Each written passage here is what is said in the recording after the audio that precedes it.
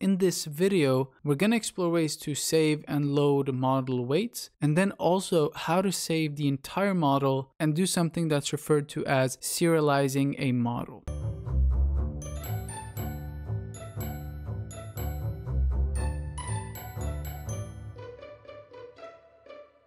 All right, so here we have some code that should hopefully feel familiar from previous tutorials. So we just have some basic imports and then we're loading the MNIST data set. Uh, and then what I've done here is that I've created three different models. They're all the same uh, model architecture, just using the different APIs. So the first model is using the sequential API, uh, which is two dense layers with 64 nodes and then 10 output nodes. And then similarly, model two is gonna create the same model just using the functional API. And then lastly, we're uh, do doing it using subclassing.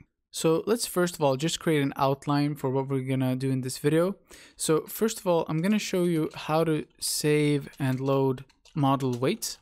And then secondly, I'm gonna show you how to um, save and load entire model. And uh, this is called serializing uh, model. So when we're saving and loading the entire model, it's going to be saved uh, as a data structure. And this means that it can be loaded on different TensorFlow frameworks like TensorFlow JavaScript, TensorFlow Lite. And so, for example, you could train a model on your PC, and then let's say you want to uh, put it into production and create an app. Then you could just load that model that you previously trained, and you don't have to do any conversion. And also, additionally, so what this will do is that it will save the weights uh, it will also save the model architecture. So you don't have to actually have the code for the model. And then it's also going to save the training configuration. So this would be what you send into model dot model dot compile. And then lastly, it's also going to save the optimizer and states. So uh, for example, if you're using the Adam optimizer, uh, it's going to keep track of the um, exponential weighted averages and that's internal to the optimizer. So for example, if you're just saving the weights, then the optimizer states are going to be reset every time you uh, you load from uh, load the weights from the model. All right, so let's start with how to save and load the model weights. What you're going to do is after training, uh, so let's do it after model.evaluate, we're going to do model.save weights. And then we're just going to specify a folder. Let's do saved model. And then if we now run this, so if we now open up that folder uh, where we're running the script, and then inside that one, there's going to be another folder called save model. And then that's where the files are going to be that are saving the weights. And so what you would do now to just load the model is you would do model.load weights and you would specify that folder. So saved model.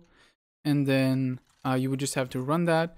And also, so after the first epoch previously, I think it was about 90% accuracy.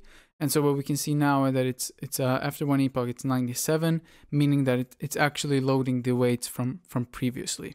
So one thing here to keep in mind is that you can't actually swap uh, and load the weights for the different implementations. So for example, if we run this uh, using model 2, which is from the functional API, then it's going to give an error saying that they aren't com uh, compatible. So a general rule here is that you need to load a model using the exact same way as you saved it.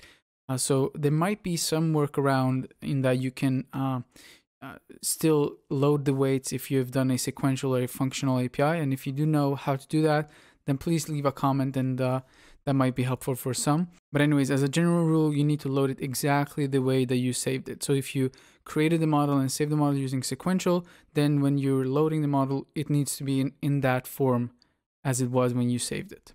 Now, uh, there are also uh, some different formats that you can use when uh, saving the model.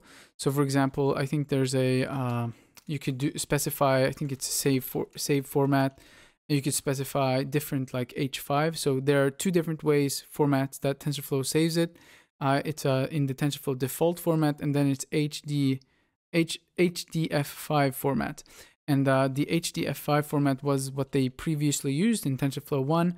And then since TensorFlow 2, they've used, uh, I guess, TensorFlow default saving format.